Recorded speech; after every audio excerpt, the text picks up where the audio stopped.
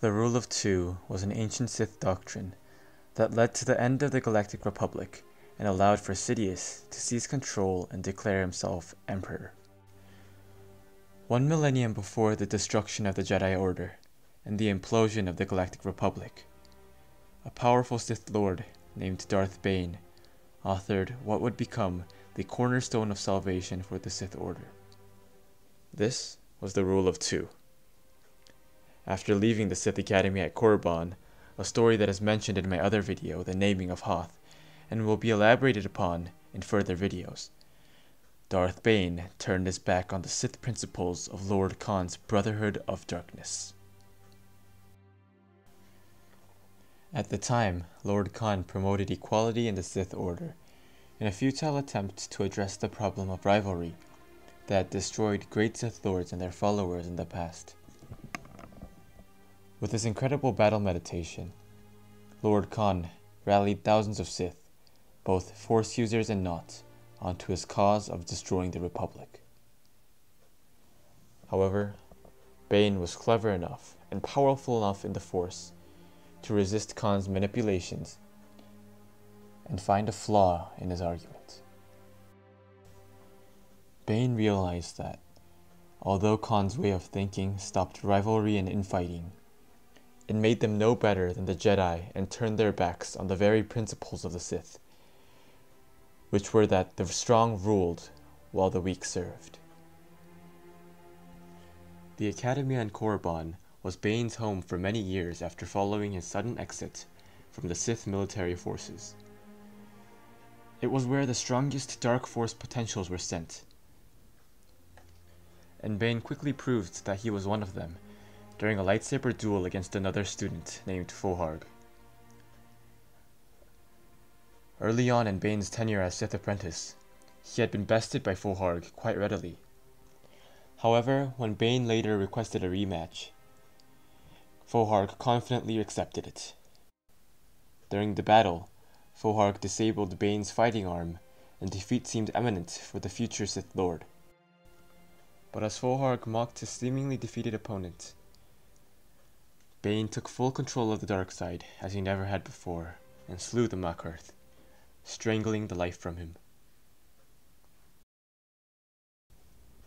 In killing Fohargh, Bane realized that his abusive father had not died many years ago due to a heart attack, but had been murdered by Bane when he had subconsciously used dark side energy to kill him. After the battle, Bane began to lose control of the Force, as he could no longer access his anger and rage to fuel his dark side powers.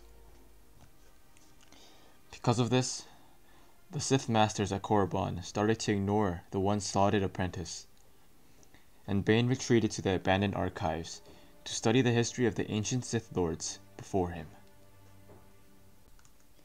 In an attempt to reclaim his connection to the Force, Bane rashly challenged Sirak, the top student of the Academy, but was completely outmatched, having to spend many days in a bacta tank afterwards. During the same span of time, a former Jedi apprentice named Githany came to join the Sith Academy at Korriban. Seeing the potential in Bane, Githany secretly began to train Bane even as every other Sith Master had refused to do so, and taught him the art of Force Lightning. Although her original purpose had been to manipulate Bane to do her bidding, She had both proved too powerful for her to control and had been training in secret with the Academy's Blade Master, Kasim.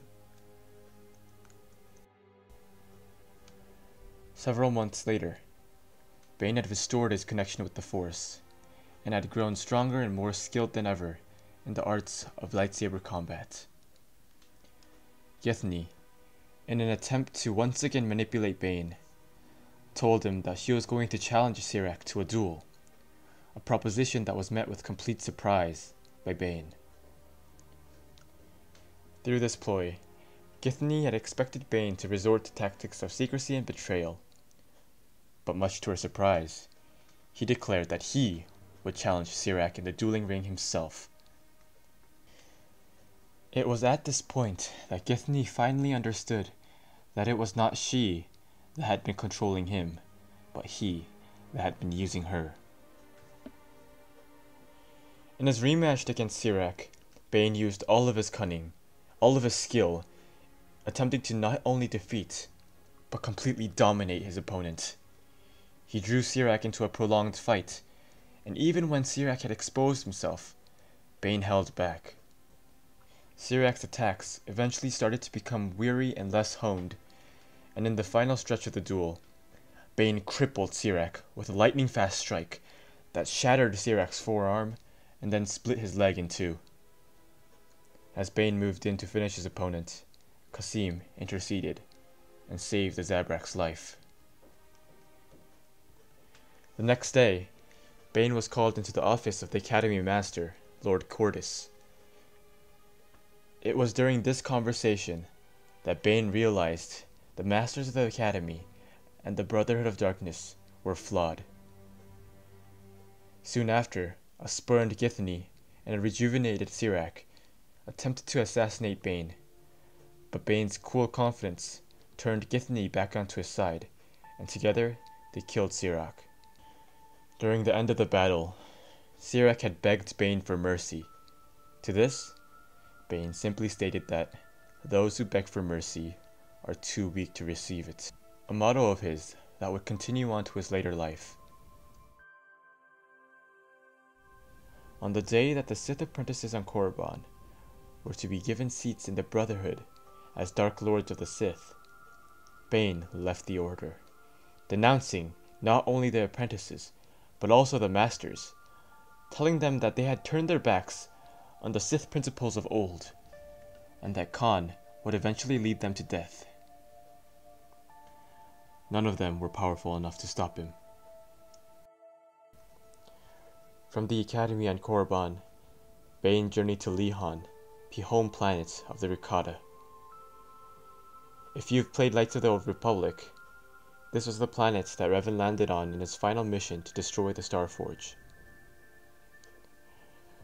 incredibly powerful in the Force, Lehon resonated with the equally potent power of Bane. Although he was attacked by a Rancor, he took control of the Rancor and located the planet's catalyst of Force power, the Temple of the Rakata. Once again, if you've played Knights of the Old Republic, you'll see that this is where you meet Darkside Bastila for the first time after she is captured by Malak on the Leviathan. In this temple, Bane found Revan's holocron, and from it, learned what would become the basis of the rule of two. The following is an excerpt from Revan's holocron. By its very nature, the dark side invites rivalry and strife. This is the greatest strength of the Sith. It calls the weak from our order. Yet, this rivalry can also be our greatest weakness.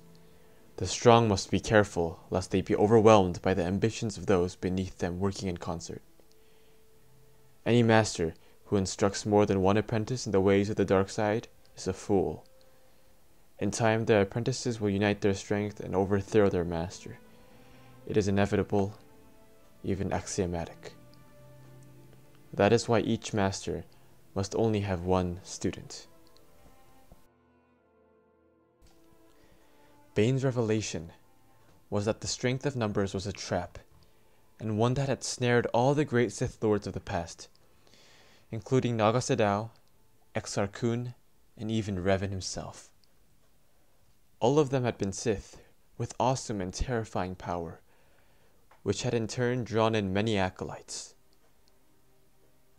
But as the holocron stated, no matter how powerful the master, the apprentices would eventually unite together and overthrow him, the strongest among the apprentices becoming the next master. Thus, the line of the Sith would become increasingly weakened.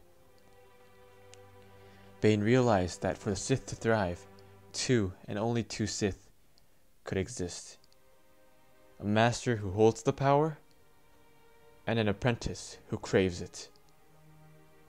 This would allow for the Sith to bide their time as their order became stronger and stronger, and until one powerful enough would fulfill Bane's dream and destroy the Republic.